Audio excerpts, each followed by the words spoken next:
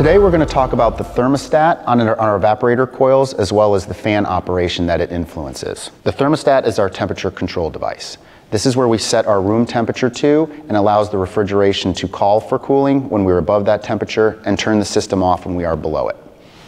As we discussed in a previous video, airflow over our evaporator coil is what exposes our system to the heat we're trying to remove. So airflow is critical. When we're in refrigeration mode, this fan is at full speed to get the most CFM and heat exchange possible.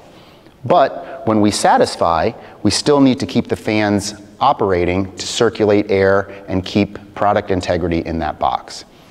One thing that is common now with the AWEF regulations that have been released is more efficient fan operation on the evaporator coil. Two-speed fan operation is quite common in the industry.